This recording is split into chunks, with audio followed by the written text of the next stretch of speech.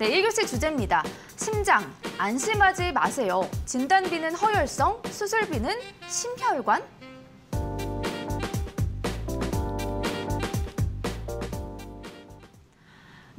네, 단일 기관으로 인해서 발병률이 상당히 높은 병이 바로 심장 질환입니다.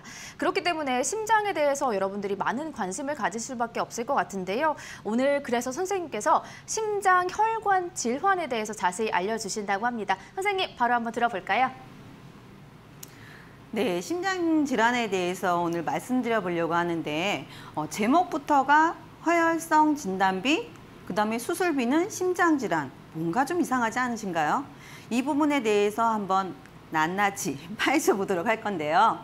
왜 진단비는 허혈성으로 되어 있고 수술비는 왜 심장 질환으로 되어 있는 건지 예, 보장이 허혈성이 100%다 심장을 보장해 주는 건지 이 부분에 대해서 한번 살펴보도록 하겠습니다. 어, 너무 복잡하게 너무 많은 글들이 써 있습니다. 이 시청자 여러분들은요, 이 글들은 다 무시하시고요. 제 주목해서 보셔야 될 부분은 바로 이 부분입니다. 보장 공백. 예, 보장 공백이 44.2%가 지금 나와 있는데요. 우리들이 많이 가입되어 있는 급성 심근경색은요, 허혈성 진단금에는 속해 있지만요, 어, 여기 기타 심장 질환에는 포함이 되어 있지 않는 부분입니다. 그래서 허혈성 질환 같은 경우에는 I20부터 2호까지 이렇게 나와 있는데 협심증으로 보실 수가 있겠고요. 그리고 급성 심근경색을 포함하고 있는 질환이라고 보실 수가 있는데요. 협심증만 심장 질환이 아니겠죠. 그러면 그 외의 것들은 보장을 받을 수 있을까요? 진단비에서. 자, 보시면 부정맥 보이실 겁니다. 신부전, 빈맥 이렇게 보이실 건데요. 제가 빨간 걸로 화, 화살표를 하나 만들어 놨어요. I49라고 나와 있는데요. 이 부분은 이제 뒷장에서 왜 화살표를 표시를 해놨는지 한번 설명을 해드릴 거고요. 그 외에도 근육에, 심장의 근육에 병이 생기는 질환, 또 염증이 생기는 질환, 또 협착이 생기는 질환 등 다양하게 심장 질환에는 여러 가지 어, 이 병들이 이렇게 포함이 되어 있습니다. 그런데 왜 우리는 허혈성 진단비로 가입을 해놓고 100% 다 심장이 다 보장이 된다라고 생각을 할 수밖에 없었나? 그전에는 이러한 진단비가 없었습니다. 예, 다음 장을 보시면요.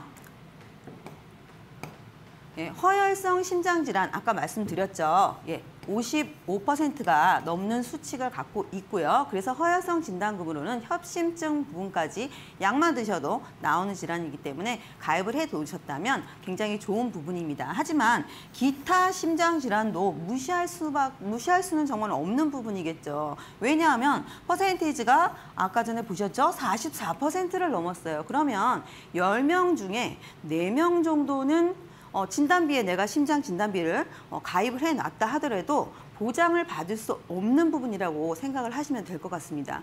그러면 나머지 열명이 병원에 갔는데 기타 심장 질환으로 어, 네명 정도는 내가 보험 다 가입을 다 해놨는데 보장이 다 될 거라고 생각을 했는데 가입이 안 되고 보장 금액을 받을 수 없다라고 한다면 아 보험을 도대체 왜 들었나 보험 다 사기꾼이다 막 이런 말들 많이 하시잖아요. 그렇기 때문에 보장 금액, 금액이라든지 아니면 내가 보장 내용이라든지 이런 부분들을 꼭 확인해 보실 필요가 있는 겁니다. 보시면 그러면 기타는 도대체 어디 어느 부분이 기타인가? 예, 아까 전에 제가 I4구로 말씀드렸는데요. 부정맥이 굉장히 많습니다. 부정맥. 아 나는 수술비로 굉장히 많이 가입을 해놨어. 심장질환 수술비 해가지고 뭐 천만 원, 이천만 원, 삼천만 원 가입을 해놨기 때문에 부정맥이라든지 신부전이라든지 기타 질환에 대해서 나는 수술비로 보장을 받으면 돼 라고 생각하시는 분들 굉장히 있으실 겁니다. 진단비로 못 받는다면 수술비로 받으면 되지 라고 생각을 하시는 분들 굉장히 많으실 거예요. 그런데 제가 오늘 왜 소개를 해드렸을까요? 다음 장을 한번 보시면서 말씀을 드려보도록 하겠습니다. 자, 부정맥 뭔가요? 부, 부정맥이란 보시면요. 맥박의 리듬이 불규칙한 상태를 이야기를 합니다. 그러면 이 맥박이 불규칙하게 뛰는 이 질병을 어떻게 치료를 하, 하느냐 하고 이제 의사 선생님한테 출처가 있습니다. 의사 선생님들이 말씀을 해 주셨어요.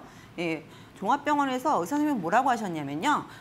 이 수술이 필요한 부정맥도 있지만 예, 약물로 치료되는 부분들이 굉장히 많다라는 겁니다. 대부분의 부정맥 환자들은요, 어, 수술보다는 약물로 치료를 하는 부분들이 굉장히 많다라고 해요. 이 약물조차도 아, 10여 가지 이상 다양해서 굉장히 어, 수술을 피해서 약물로 치료하는 경우도 많고요. 최근에는 예, 기술이 이제 발전하다 보니까요, 이제 수술보다는 어떤 암도 그렇죠. 암도 어떤 부분에서는 예전에는 무조건 암에 걸리면 수술로 이어지고 그 다음이 항암으로 이어지고 했었는데요. 최근에는 수술보다는 어떤 항암 치료로 이어지는 경우들이 굉장히 많고요. 그래서 이렇게 부정맥 같은 경우에도요. 이렇게 신기술이 계속 발전하고 약물이 굉장히 좋아지다 보니까 수술보다는 이제 약물로 치료를 하는 경우가 굉장히 많아졌다는 겁니다. 그렇게 되면 어떻게 될까요? 아, 나는 허혈성 진단비로 진단을 해놨고 심장질환 수술비로 수술, 수술비를 마련해놨어요. 그런데 부정맥으로 진단을 받았습니다. 이렇게 된다면 보장을 어디서 받을 수가 있죠? 예, 보장을 받을 수가 없습니다. 예, 아쉽지만 보장을 받을 데가 없어요. 왜냐하면 수술을 한 것도 아니고 그냥 약만 드시고 있는 거기 때문에. 하지만 부정맥은 몇 퍼센트를 차지하고 있나요?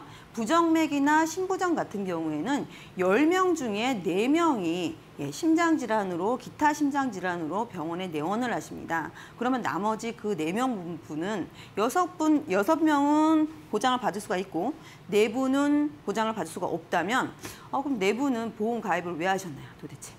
10분이 가입을 하시면 10분이 다 혜택을 보셔야죠. 그죠? 이런 부분들 때문에 오늘 소개를 해드리는 건데요.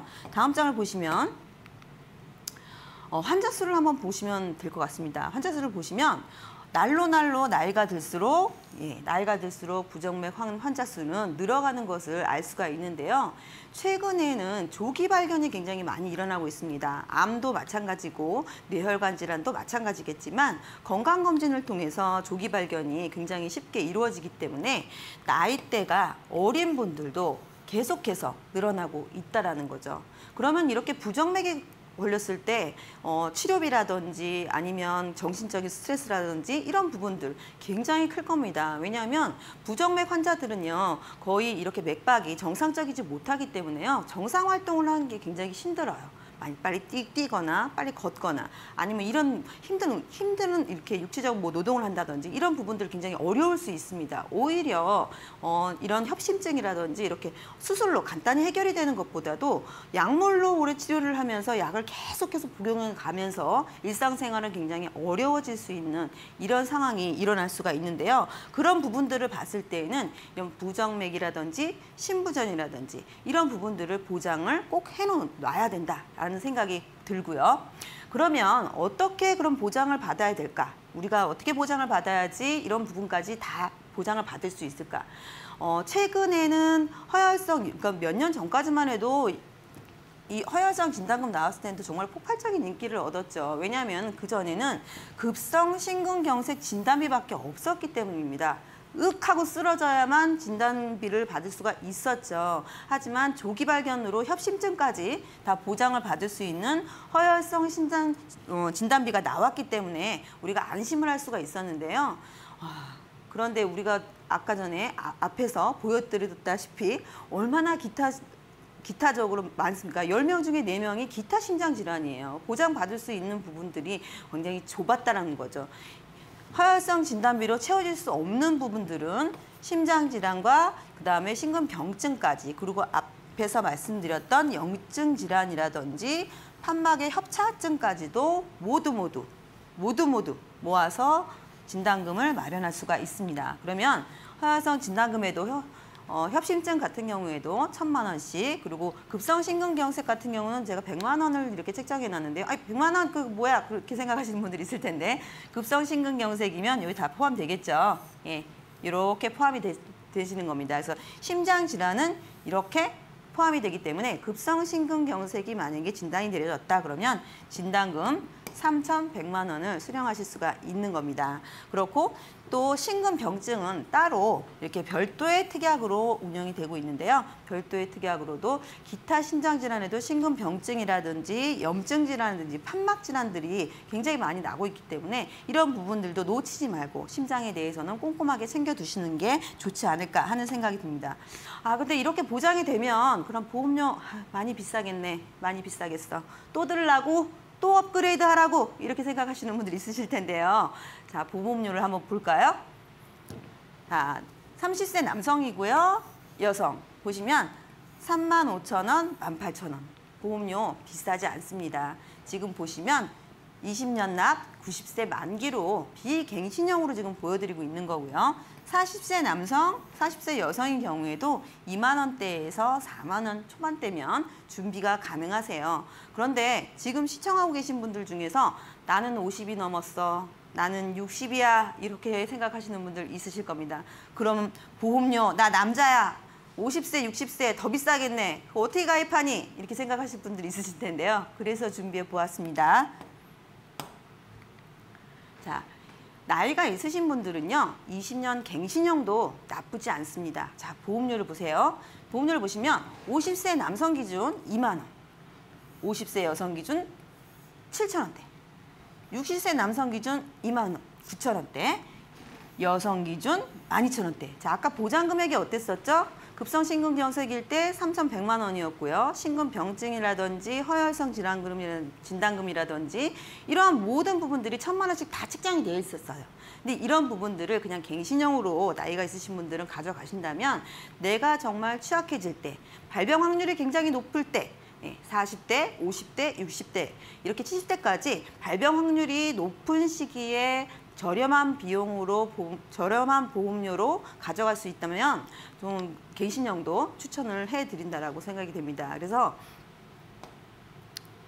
보험료를 좀 알아봤는데요. 여태까지 이제 가지고 계신 보험 굉장히 많으실 거예요. 그래서 또 이렇게 내 보험 어떤가 뭐 보장 분석이라던가 이런 부분들도 많이 해 보셨을 텐데요. 최근에 나온 심장질환 진, 심장질환 보장입니다. 그렇기 때문에 지금까지 어, 뇌증권에는 그러면 이게 없, 없다는 거야? 없으신 분들이 거의 대부분이실 거예요. 예, 없으신 분들이 거의 대부분이실 거기 때문에 어, 다시 한번 어, 어떤 부분들을 내가 심장 쪽으로 좀 취약하다라든가 아니면 뭐 가족력이 있다라든가 이런 분들은 한 번씩 체크해 보시는 게 좋을 것 같다는 생각이 들고요. 제가 준비한 내용은 여기까지입니다.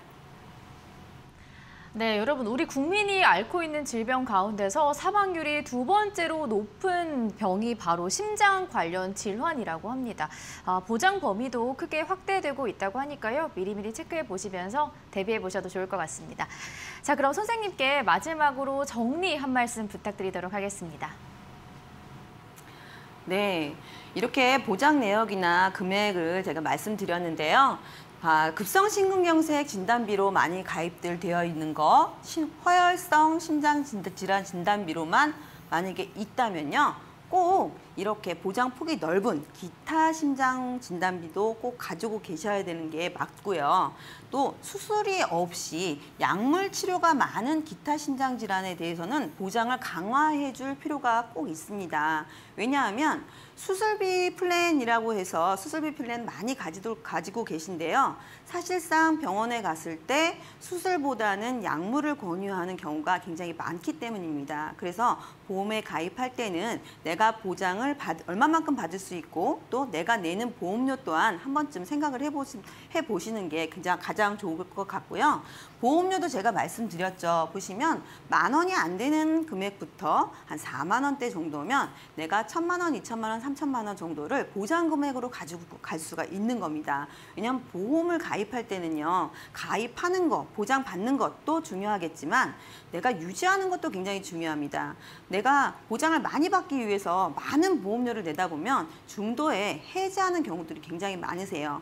꼭 희한하게도 해지를 하고 나면 질병이 찾아오는 경우도 굉장히 많기 때문에 어, 앞으로 이렇게 준비를 하실 때는 저렴한 보험료로 그리고 보장 폭이 좀 넓게 그리고 만약에 나이가 있으시다면 갱신형도 추천해 드립니다.